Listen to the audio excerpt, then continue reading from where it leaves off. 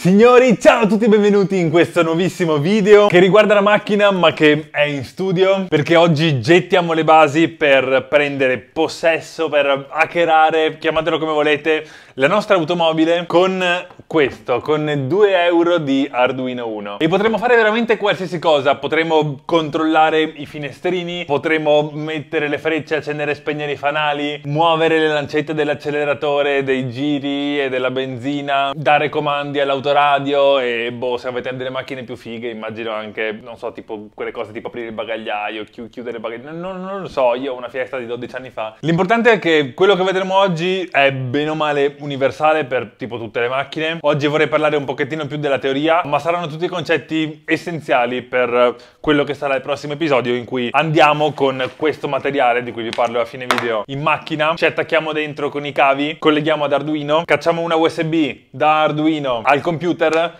e con il computer attraverso Arduino ci mettiamo a sniffare codici, intercettarli, identificarli, decodificarli, salvarli, creare un piccolo database e poi automatizzare le cose varie. Signori, sono gasatissimo, questo moralmente è il secondo episodio della serie modifiche alla mia macchina. Nel primo episodio, forse sono già stati due episodi, non lo so. In quello che avete già visto in passato, insomma, ho installato un autoradio Android con schermo sulla mia macchina in modo da avere un bello schermo su cui proiettare una web app, ad esempio, che si possa connettere a un Raspberry con Wi-Fi Direct che sarà a sua volta connesso a un Arduino, non lo so. Adesso vedremo come gestire tutto l'ecosistema. Arduino ci sarà, molto probabilmente ci sarà un Raspberry, ci servirà sicuramente uno schermo, oppure potremo fare anche tutto da un'applicazione. Quello che è bello è che se avete voglia o le conoscenze, oppure anche magari lo faremo in un video, di programmare una piccola applicazione, è più facile farlo per Android che non per iOS, ma potremo avere un'applicazione sul telefono che si connette via Bluetooth alla macchina, tra virgolette, in realtà all'Arduino che abbiamo a quel punto nascosto in qualche anfratto della macchina e ci permette dall'applicazione di tirare su e giù i finestrini, di spegnere i fanali, cioè vabbè. Sarà lunga la strada, ma cominciamo con il capire come faremo tutto questo. Ah, beh, se la prima premessa era che tutto quello che vedremo in questo video c'è essenziale per quello che faremo nel video prossimo, quindi il video di oggi guardatelo perché sennò poi vi manca di capire cosa stiamo facendo. La seconda premessa è non sono un esperto di legge del codice della strada, non sono sicuramente una forza dell'ordine o non lo so. Quello che faremo tecnicamente non penso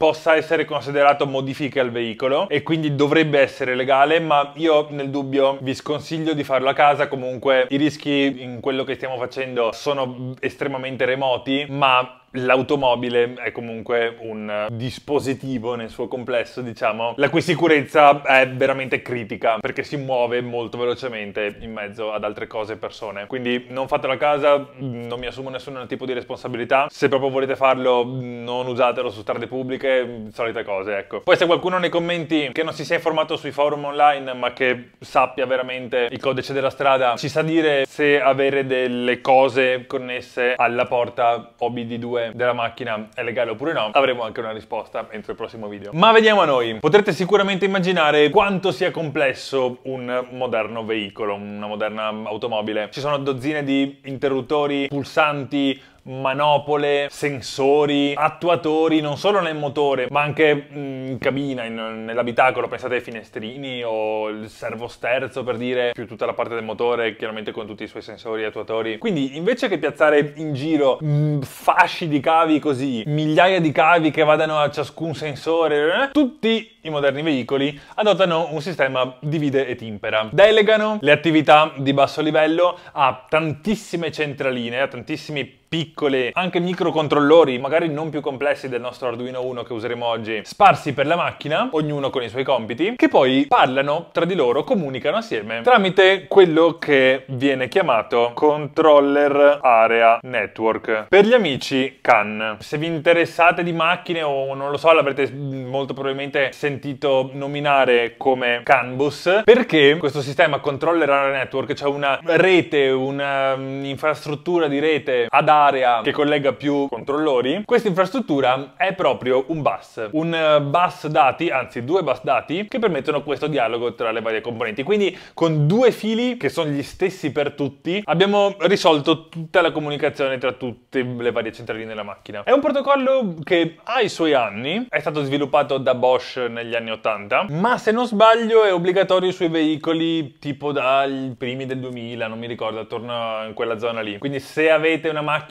degli anni 90 o una macchina vecchissima, è possibile che non possiate fare quello che oggi faremo, però comunque siete un raro caso. E si usa ancora questo protocollo dagli anni 80, sia per una questione di standardizzazione, sia perché è particolarmente figo, perché è veramente robusto, cioè ha pochi problemi, soffre di pochi anzi nessun problema noto, consente un'ottima larghezza di banda, quindi si possono passare tanti dati, molto velocemente diciamo, e consente ottime distanze, quindi posso avere la centralina dell'airbag che sta nel portellone del bagagliaio e quella nel Covid, cioè posso tirare metri e metri di cavi senza avere troppi problemi di interferenze, di correnti parassite, di campi elettromagnetici, rumore elettromagnetico. Non c'è praticamente nessun tipo di problema da questo punto di vista. Perché? Come funziona? Vi ho detto che abbiamo due cavi, no? Allora, facciamo un grafichino. I nostri due amici si chiamano can high e can low. Entrambi, quando sono a riposo, stanno attorno ai 2.5 volt di tensione. E poi si possono rappresentare bit significativi, cioè i dati, portando contemporaneamente a 1 volt e 5 il can low e a 3 volt e 5 il can high. Se io che sono la centralina del volante, dei comandi a volante per l'autoradio, voglio comunicare un messaggio perché magari mi è stato premuto il pulsante di volume in su, cosa faccio? Tiro can high a una tensione più alta e can low a una tensione più bassa e poi da questo momento in cui ho dato il primo sbalzo diciamo e quindi ho comunicato agli altri che sto trasmettendo un messaggio, posso modulare uni e zeri, quindi informazione digitale, semplicemente eh, alternando impulsi in questa maniera,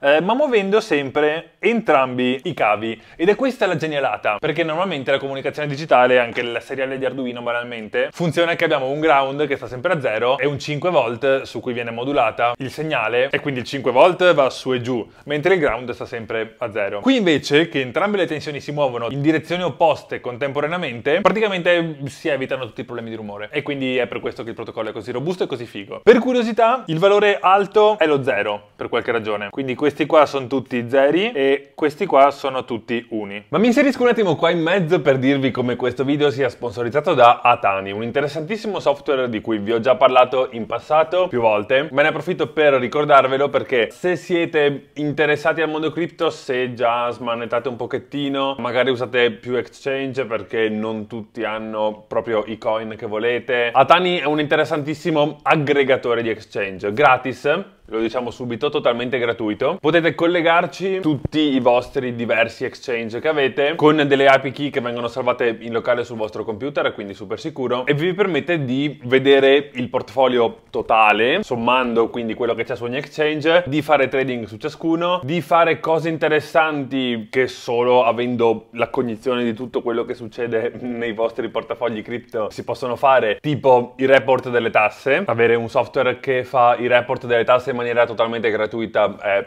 direi tanta roba e in più ci sono funzionalità particolari tipo mh, mm, i grafici con TradingView Premium, gli avvisi via sms, via mail sul prezzo, inclusi nei grafici e, e tutto quanto gratis, non, non c'è proprio nulla da pagare. Loro ci guadagnano perché hanno accordi con gli exchange che tanto voi già usate e quindi è un win-win per tutti. Assolutamente provate Atani, link in descrizione. Allora, se questo era il mio grafico di tensione, mettiamo la V di volt, nel tempo, cioè man mano che va avanti il tempo la tensione può variare in questa maniera. Vediamo un attimo però a livello pratico, proprio come è cablato sta roba, cioè come si fa a fare sta roba su due fili. Poi è super semplicissimo. Ci sono i nostri due fili che se ne vanno in giro perché sono un bus e quindi fanno il giro della macchina in modo che tutti possano arrivare a parlarci. Opla, ci sono questi due cavetti che di solito sono intrecciati per una questione di evitare ulteriormente i disturbi. Alle estremità cosa c'è? Alle estremità ci sono due resistenze da 120 ohm e basta, cioè non serve alimentazione esterna, cose, cioè sono proprio due cavetti così. E praticamente tutte quante le nostre centraline che sono in giro per la macchina sono allacciate sia al can high sia al can low, poi ovviamente loro sono alimentate per conto loro, però possono fare questo gioco ciascuna di controllare sia can high sia can low per um, parlare alle altre. Affascinante, vero? Bene, parlare alle altre, ma come si parlano? Allora, si mandano messaggi, dei messaggi ben strutturati. E questa è una parte importantissima che ci servirà per il prossimo video. Come è strutturato un messaggio CAN? Allora, nel treno di uni e zeri che mm, formano i nostri byte che vengono scambiati, insomma vengono inviati tra le varie centraline. Il primo pacchetto si chiama SO F, start of a frame, cioè comincia un'informazione. Abbiamo visto che i bus entrambi erano a 2.5 volt mm, lì tranquilli, insomma, non c'era nessuno che stava parlando. Di colpo, pum, cambio le tensioni, inizio a parlare. Poi abbiamo un ID, un identificatore. Devo dire chi sta parlando. Salve, sono la centralina dei comandi del volume del volante. Poi c'è un pezzettino che si chiama RTR. In realtà è un solo bit booleano, cioè può essere 0 o 1, e sarebbe Remote Transmission Request. Cioè chiedo a qualcuno remoto, chiedo a qualcun altro di trasmettermi roba. Non si sa mai. Magari la centralina delle lancette del cruscotto vuole chiedere alla centralina dei pedali in che posizione è il pedale dell'acceleratore o vuole chiedere alla centralina del motore a quanti giri sta andando il motore. Quindi questo qua è giusto uno se sto chiedendo a qualcun altro di inviarmi roba oppure zero se sto io dicendo cose, ma non voglio necessariamente una risposta. Poi ci sarebbe un pezzettino che si chiama IDE, che sarebbe un'estensione dell'ID, tipo alcuni sistemi, alcuni veicoli nuovi che hanno un un botto di centraline, non gli bastano questi 11 bit per dare un nome univoco a ogni centralina, ma ne servono di più e quindi qua ci sono altri 18 bit disponibili per un totale di 29 bit per dare insomma un nome molto più lungo in modo che tutti abbiano un nome diverso. Se c'è tanta gente che parla. Vabbè, poi un altro po' di roba, qui non ci interessa particolarmente. Quello che ci interessa è come sono fatti i dati. Perché i nostri dati cominciano sempre con un, un byte di DLC, che non è l'espansione di un videogioco, ma è il data length code. Per gli amici lo chiamiamo solo data length, perché non ho voglia di scrivere, è la lunghezza dei dati, cioè ti dico quanti byte ti sto per trasmettere. Da 0 a 8, vabbè, 0 in realtà non te li trasmetto mai, perché se no non starei nemmeno parlando, però massimo 8 byte. Quindi qua, di seguito, ci sono i dati. Abbiamo detto che sono 8, quindi tecnicamente se vogliamo fare una cosa fatta leggera, leggera in azzurro, qui ci sono 8 byte che vengono trasmessi e questo è il contenuto del mio messaggio. Poi ci sono altre 4 robe delle quali non ci interessa particolarmente, quindi farò uno scarabocchio anche qui e dopo c'è il nostro end of frame, cioè il mio messaggio concluso andate in pace. Quindi facciamo un esempio pratico per capirci. I pulsantini del volante. Il volante vuole alzare il volume della radio. Quindi va bene, start of frame, cioè inizia a parlare. Cosa deve mandare? Deve mandare il proprio identificativo innanzitutto. Quindi lui dirà ad esempio salve a tutti, sono 0x0584, che è il suo nome. Oh, tu ti chiami Antonio e lui si chiama così. La cosa molto interessante è che il protocollo CAN è un protocollo di tipo broadcast, cioè chiunque parla trasmette a tutti le proprie informazioni e dopo chi sa di dover ascoltare ascolta. E questo è molto interessante perché lo andremo a sfruttare con il nostro Arduino. Poi magari manda un 0x0 perché non vuole nessun tipo di trasmissione di dati, sta solo dicendo che stiamo alzando il volume, quindi il nostro RTR sarà 0. L'identificativo esteso non ce l'abbiamo perché è una macchina non nuovissima magari. Ah, data length. Lui per chiunque voglia ascoltare dice, uè, vi sto trasmettendo 6 byte. E poi cominciano i nostri dati, che sono appunto i nostri 6 byte. Siamo 0x0584, siamo la centralina dei pulsanti del volante il nostro messaggio sarà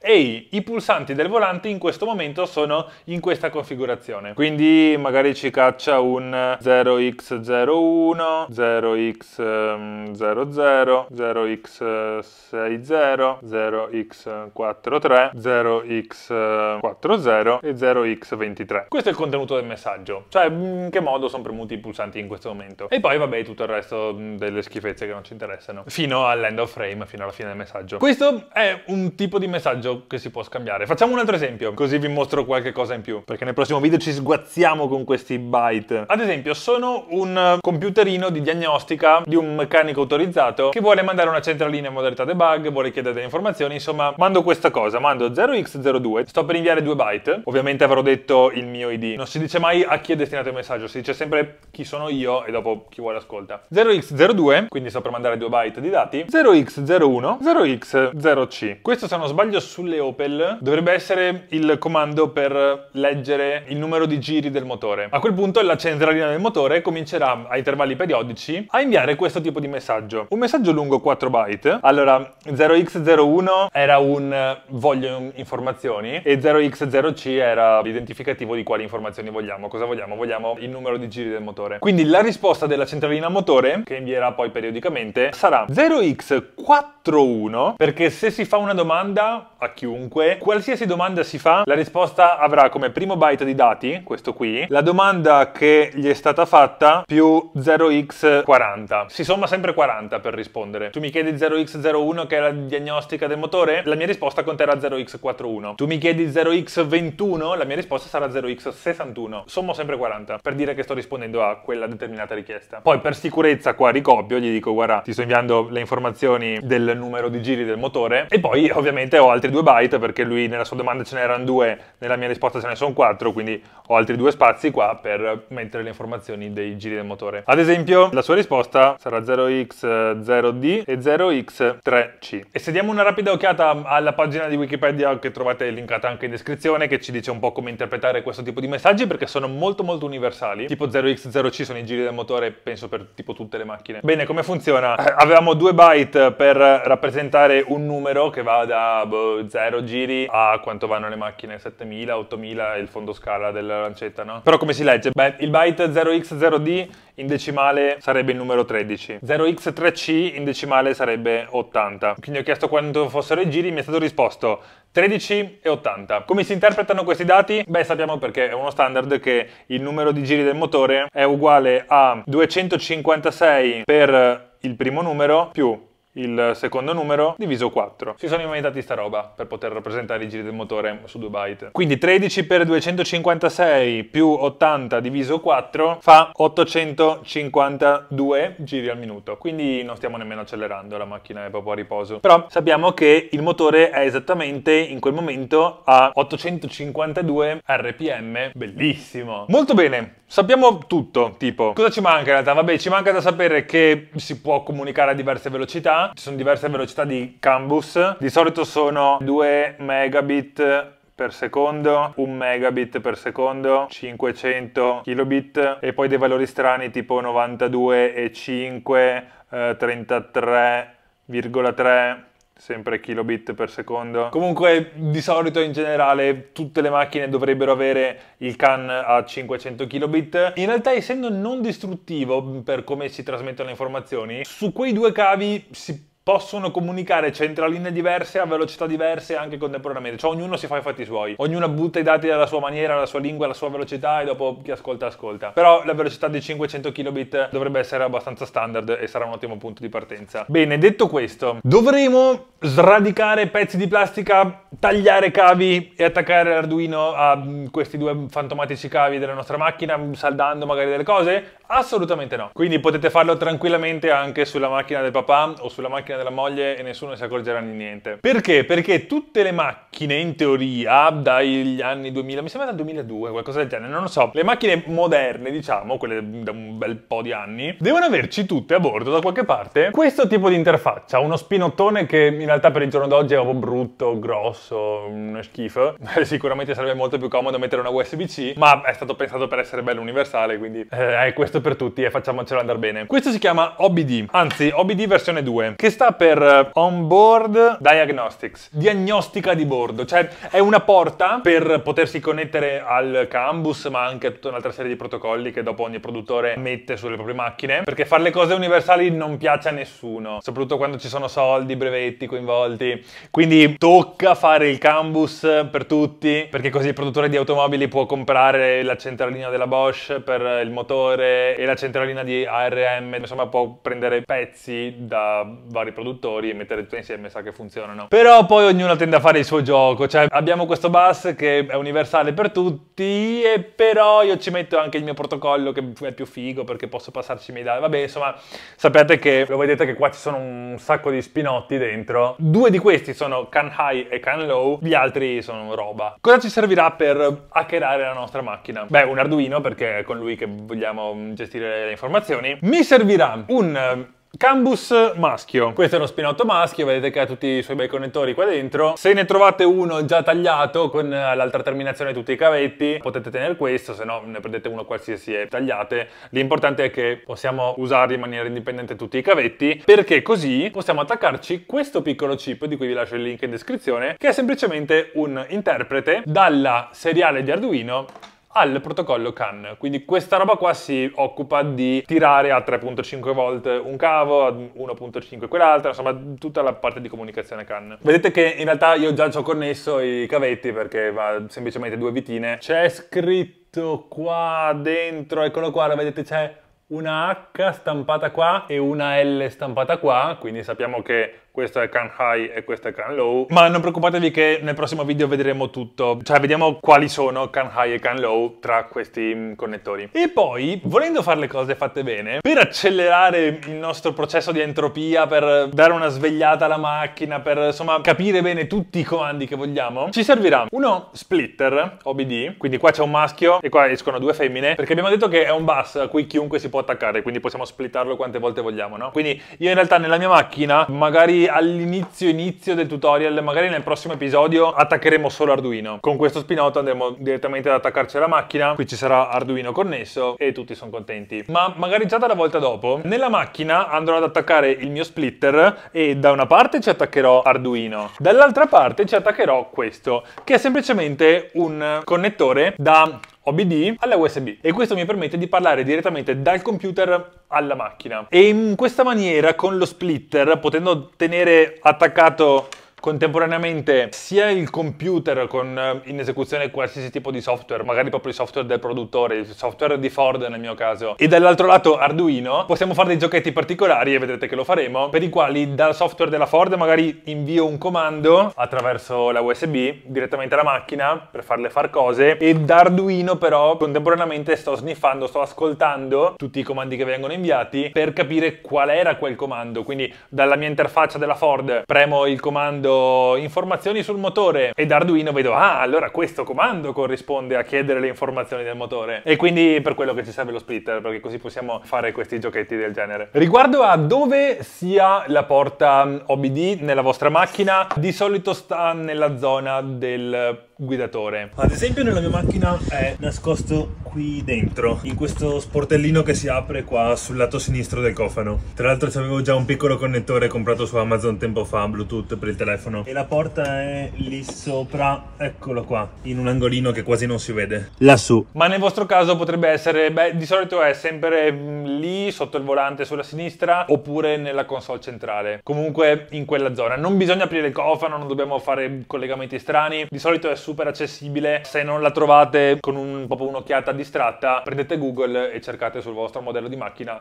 dove ce la sono nascosta. Ragazzi, pollice in su. Per questo video è tutto, però pollice in su, mi raccomando. Il prossimo episodio a brevissimo, a brevissimo perché sono gasatissimo da questa cosa, da poter controllare i finestrini della macchina con Arduino inizialmente, ma magari un domani con il Raspberry, con Home Assistant, con i comandi vocali, potremmo... Per questo video è tutto. Ciao a tutti, pollice in su.